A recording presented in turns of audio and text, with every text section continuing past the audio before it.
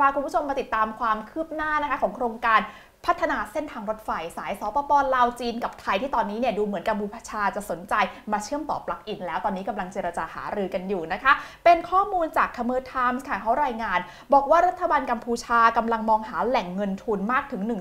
138,000 ล้านบาทเลย เพื่อสร้างระบบรถไฟความเร็วสูงไปเชื่อมต่อกัมพูชาเข้ากับประเทศเพื่อนบ้านนะคะ เน้นที่เส้นทางหลักก็คือพนมเปญปอยเปตเพื่อที่จะเชื่อมรถไฟความเร็วสูงกับเส้นทางในประเทศไทย เป็นระยะทาง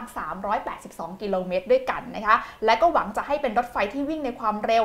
160 จนถึง 200 กิโลเมตรต่อชั่วโมงด้วยค่ะ อันนี้ระยะความเร็วนี่เท่ากับสปปลาวเลยเนาะค่ะซึ่งเขาบอกว่าคุณซันจันทนนะคะ รัฐมนตรีการขนส่ง และโยธาธิการของกัมพูชาเนี่ยได้เดินทางมาเยือนประเทศไทยนะคะ ในช่วงสัปดาห์ที่ผ่านมาเนี่ยได้หารือกับคุณเชิดเกียรติอัฏฐากรก่อนหน้านี้นะคะเอกอัครราชทูตไทยประจำกรุงพนมเปญเมื่อต้นสัปดาห์ก่อนที่จะเดินทางมานะคะ คือมีการพูดถึงการแสวงหาความร่วมมือในการลงทุน ในโครงการรถไฟความเร็วสูงกัมพูชานะคะ เพื่อจะมาเชื่อมรถไฟความเร็วสูงกับไทยนั่นเองนะคะ โดยเมื่อวันที่ 16 กุมภาพันธ์ที่ผ่านมาคุณเชิดเกียรติได้เข้าเยี่ยมคารวะกับคุณปรักสุคนนะคะ รองนายกรัฐมนตรีและรัฐมนตรีว่าการกระทรวงต่างประเทศของกัมพูชา เนื่องในโอกาสที่ได้เข้ารับตำแหน่งนะคะ โดยทั้งสองฝ่ายเนี่ยก็มีการหารือเกี่ยวกับการส่งเสริมความสัมพันธ์ระดับทวิภาคี ที่ใกล้ชิดอยู่แล้วนะให้มีความแน่นแฟ้นมากขึ้นนั่นเองค่ะค่ะ ในฝ่ายของไทยเองก็แสดงถึงความมุ่งมั่นนะคะ ที่จะสารงานต่อค่ะ เพื่อยกระดับความสัมพันธ์ของทั้งสองประเทศ และก็ยังได้หารือเรื่องการเตรียมการเดินทางเยือนไทยอย่างเป็นทางการของคุณปรักสุคนด้วยนะคะ 23ถึง24 กุมภาพันธ์ คาดว่าจะหารือกันเรื่องความเชื่อมต่อรถไฟความเร็วสูงกับไทยค่ะ โดยบริษัท China Road and Bridge Corp หรือว่า CRBC ของประเทศจีนที่เป็นบริษัท ด้านการลงทุนก่อสร้างโครงสร้างพื้นฐานขนาดใหญ่ ได้ร่วมออกแบบโครงการรถไฟความเร็วสูงของกัมพูชานะคะ และจากการศึกษาก็คาดว่าจะมีการก่อสร้างสถานีทั้งหมด 33 สถานี ยกระดับเพื่อข้ามถนนอีก 300 จุดด้วยละค่ะมมีสะพานข้ามถนนเยอะมากเลยนะ 300 จุดทีเดียวนะคะ ก่อนหน้านี้นายกรัฐมนตรีฮุนเซนนะคะ อย่างที่เราทราบกันได้เดินทางไปเยือนจีนนะคะ แล้วก็เข้าพบกับประธานาธิบดีสีจิ้นผิงของจีนนะคะ ซึ่งมีการหารือเรื่องความมั่นคงแน่นอนเรื่องใหญ่ในตอนนี้นะคะ แล้วก็รวมทั้งเรื่องเศรษฐกิจด้วย และหลังจากนั้นเขาบอกว่ามีการออกแถลงการ ความร่วมมือในการก่อสร้างเส้นทางรถไฟความเร็วสูงกัมพูชานะคะ โดยบริษัท CRBC ของจีนเนี่ยให้คำมั่นว่า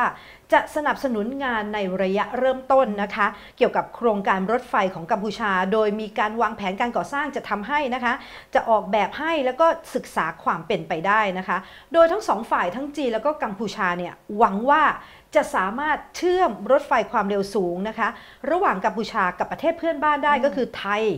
จีนแล้วก็สปปลาวคือเชื่อมสองด้านเลยนะคะ เรื่องนี้ค่ะสำคัญมากใช่ค่ะแล้วก็มีความเห็นจากคุณซุนจางด้วยนะคะ ที่เป็นผู้เชี่ยวชาญด้านการรถไฟของมหาวิทยาลัยเซี่ยงไฮ้ตงจีเขามองค่ะว่าเส้นทางรถไฟสายนี้เนี่ยจะเชื่อมโยงสายกลางไปยังสิงคโปร์และเส้นทางสายตะวันออกผ่านเวียดนาม ตามแผนทางรถไฟสายเอเชีย หรือว่า Trans Asia Railway TAR หรือว่าถาได้ด้วยนะคะ ใช่ค่ะ คือ TAR เนี่ยนะเป็นโครงการเก่าแก่มากค่ะเลยนะคะ คือเขาบอกว่าเป็นโครงการที่จะสร้างเครือข่ายรถไฟขนส่งสินค้าแบบครบวงจรนะคะ ทั่วยุโรปแล้วก็เอเชียนะคะ เป็นโครงการของคณะกรรมการเศรษฐกิจและสังคมแห่งสหประชาชาติ ในเอเชียแปซิฟิกหรือ UNESCAP นั่นเองนะคะ เริ่มมาตั้งแต่ราวๆปี 2,500 นู่นทีเดียวนะคะ โดยวางแผนให้การขนส่งเนี่ยสามารถลำเลียงผ่านเส้นทางรถไฟ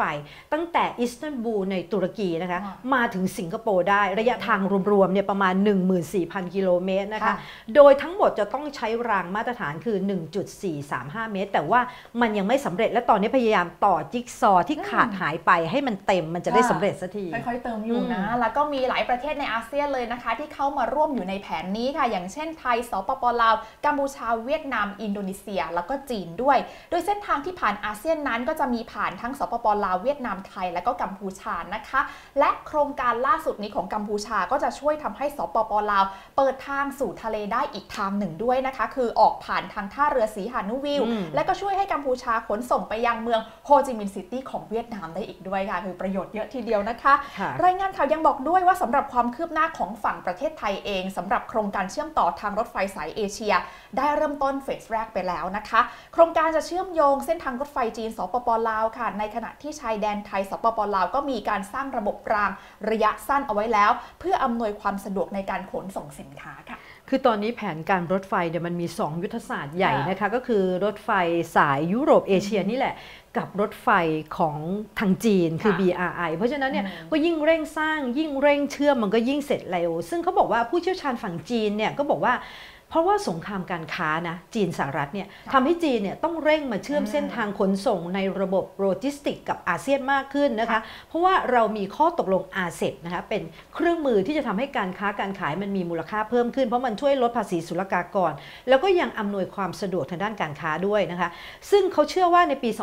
2578 GDP ของทั้ง RCEP นะ 15 ชาติเนี่ยค่ะจะขยับขึ้นร้อยละ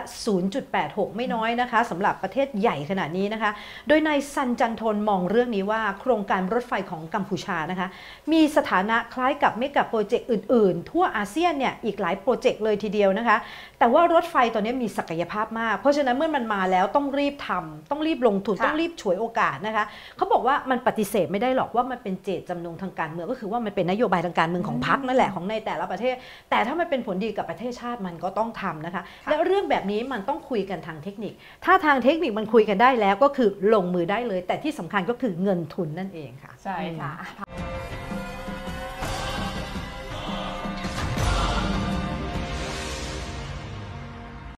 ขอบคุณที่ติดตามรับชมอาเซียน Plus ค่ะ อย่าลืมกด subscribe กดกระดิ่ง กดไลค์ และกดแชร์ในทุกช่องทางออนไลน์ของ TNN ช่อง 16 นะคะ จะได้ไม่พลาดการรับชมทุกรายการสด และคลิปวิดีโออื่น ๆ ที่น่าสนใจอีกมากมายค่ะ